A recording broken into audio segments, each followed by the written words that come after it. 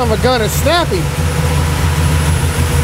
I said I was just gonna put it on there to set it up, take it off, and put that guy back on there. But, all right guys, and welcome back. And today, this is the final part of this video. If you watched the other two videos, the first video is me taking apart a brand new Brawler 950 carburetor, inspecting it, cleaning out some things that I didn't like too much. And then the video after that, we reassembled the entire thing so you can use that as a rebuild video. It's not going over cleaning because obviously it's a brand new carburetor, but you can watch me put that together and you could do that same thing with your new carburetor or the one that you're planning on rebuilding to make sure everything looks okay. And today we are taking that 950, we're putting it on the 357 cubic inch LT1, not to swap them out and use this carburetor on the LT1, but to get it ready and working for the 400 cubic inch small block Chevy, because when I put that carburetor on the 400, I want to start up right away with zero issues so I know it's good. So today we're going over the floats, just initial setup when you rebuild a carburetor because everything's out of wax. We need to re-put all those, you know, idle air screws, the idle and all that back into working operational order on a motor so that it will idle and run correctly. So that's what we're doing today.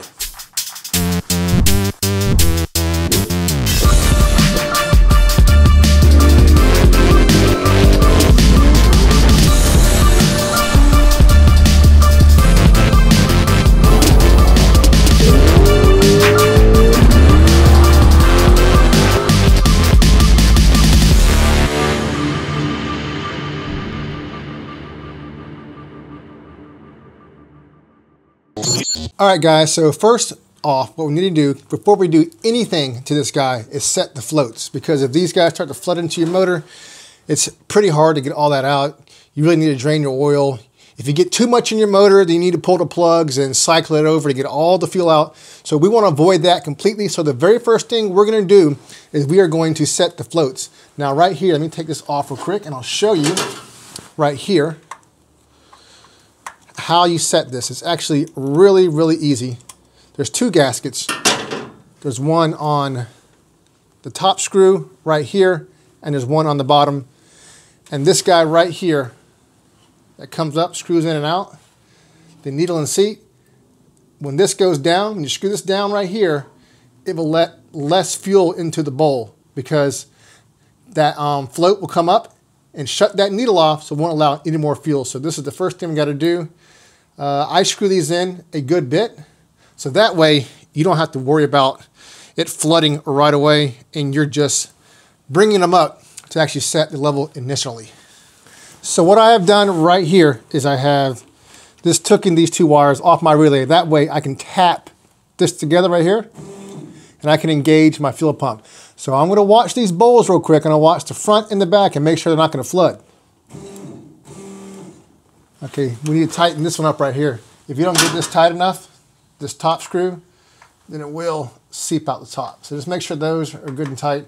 They don't gotta be too tight, but if you don't want fuel coming out the top, you gotta do that.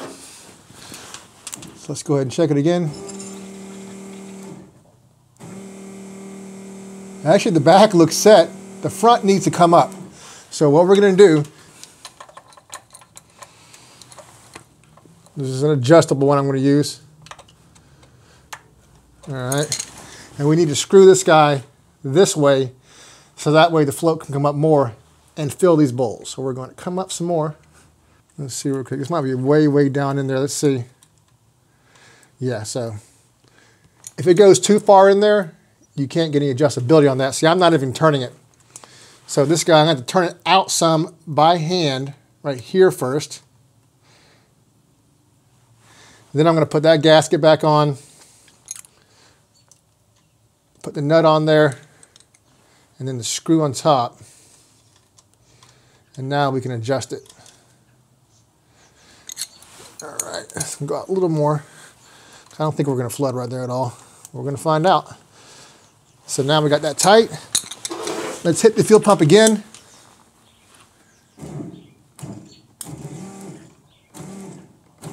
Okay, it's going a little too high right here in the float. And you want that to be in the middle. So I am going to go back down some. Oops. There we go. Go back down. just a little bit. So have yourself like, you know, any, you know, can of soda, your favorite adult beverage, just cut it in half and have yourself a 5 16 wrench handy. So if, when the bowl goes up, you're going to have to lower that level and check it again. You can't check it if it's already too high. So first, we need to drain some fuel out because the float level is too high in the bowl. So we're to have to take some of that fuel out and make a couple more adjustments here to the front before we continue.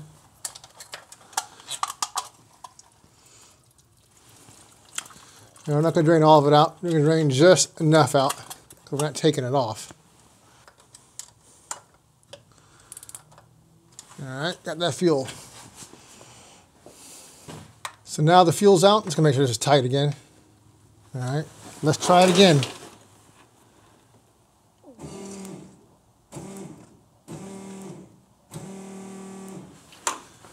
Looks like we're almost there. I'm gonna take it down just a little bit lower.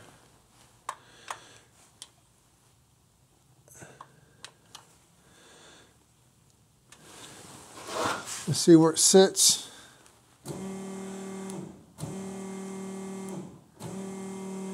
And I think we're pretty much there. Um, it's good enough that we can start up. We can make any fine tune adjustments afterwards on the float levels when it's running.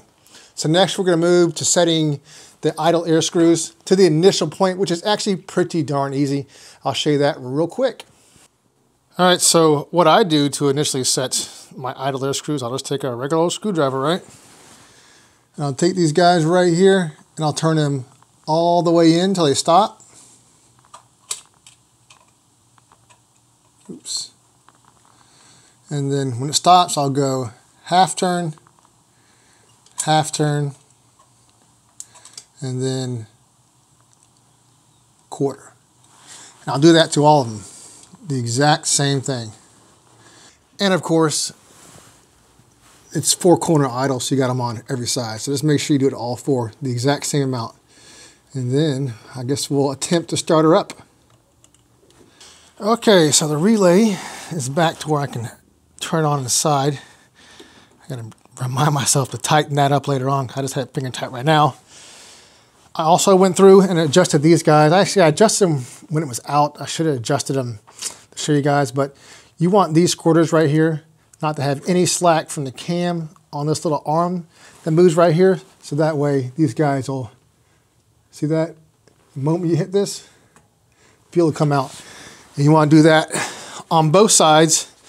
There is a whole procedure. We're just trying to get this close.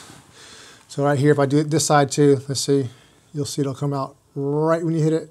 See that? Doing that too much could just throw a bunch of fuel in there. So I got a GoPro right here. I couldn't get it in the middle because uh, there's a little lump right here, right there. So I couldn't really stick it there, but it might be a cool angle. So I'm gonna hit record on this.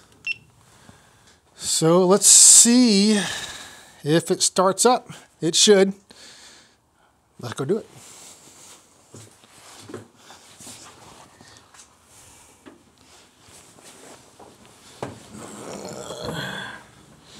everything's all cold. Hit my poor man's engine evac.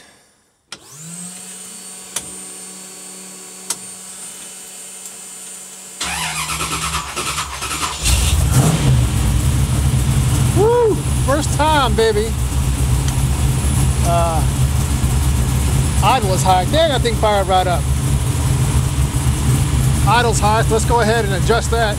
And it's cold too, so we'll see how all, how all this plays out once it warms up. It's got a good bit of warming up to do. It's still cold.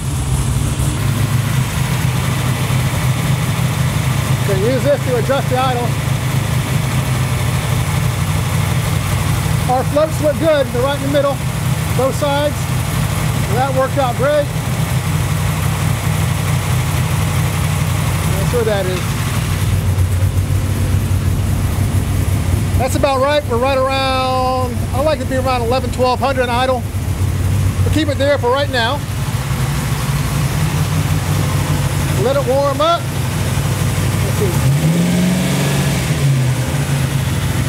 So far seems pretty responsive. Seat's pretty responsive. Let's let it warm up and then we'll wrap on her one good time. All right, so we're idling at a pretty decent air fuel. That can probably come down just a little bit. Let me turn that down some. We got some heat in it now, so we can turn that down. Turn my fans on. Idle seems okay. I like mine to be right around there. So let's lean it out just a touch.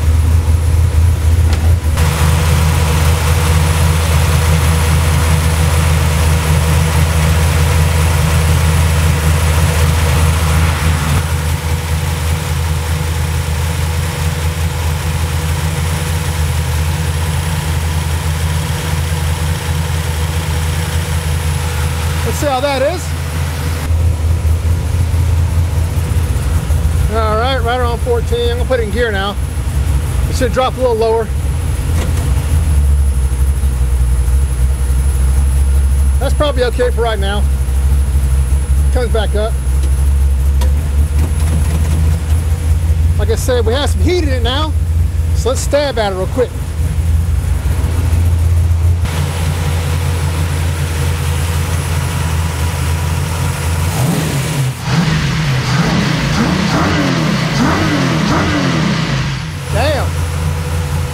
Son of a gun is snappy.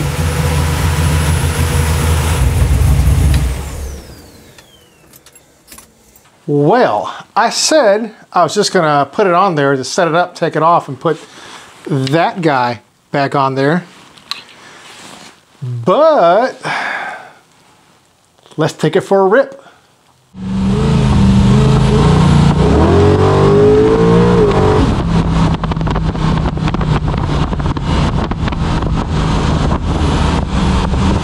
All right, so it is super lean. I'd get gas regardless. When you go with a carburetor that's too big, usually people say like, you know, you have to jet it up. That's, I mean, jet it down because it's too big.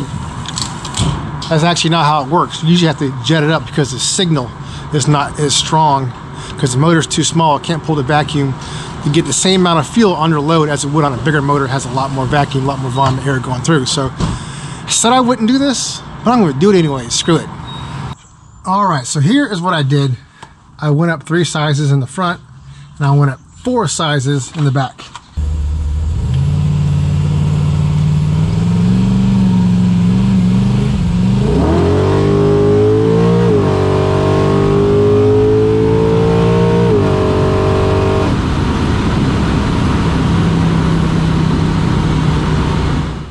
So what we did, I went down to a 5.5 power valve because I made some big changes. I went up three sizes, to, sorry, two more sizes in the rear, and I went up four sizes on the front.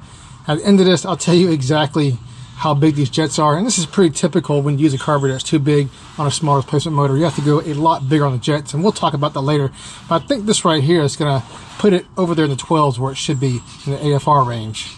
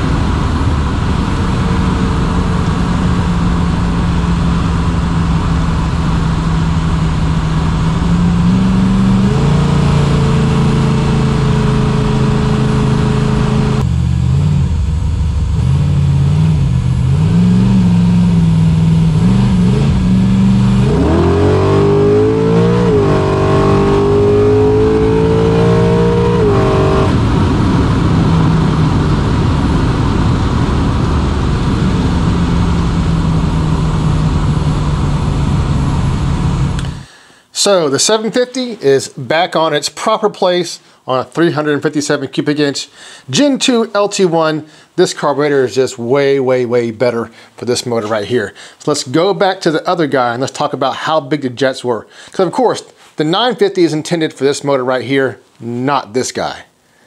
And all in all, this guy, I think is gonna work really good on the 400. I mean, it worked you know, surprisingly well for being so big on the 357.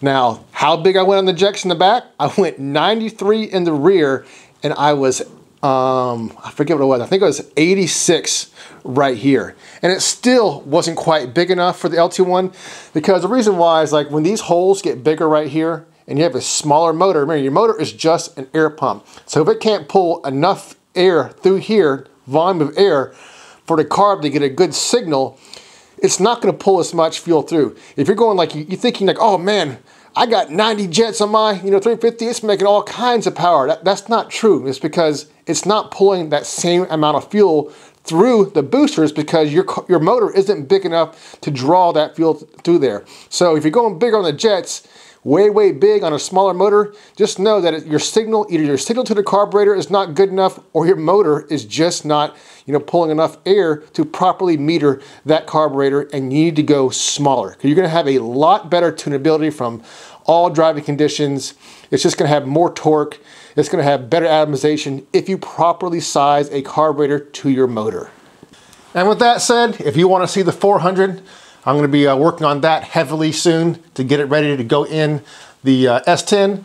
I'm pretty excited about that. I wanna feel all that low end torque that I've never felt in a big displacement small block Chevy. I mean, it's not big, big, but it's pretty darn big for, you know, a small block Chevy and street driving it around. So if you guys wanna see that, don't forget to subscribe, hit that bell for notifications and that like button. I got more videos coming and I'll see you guys next time. Peace.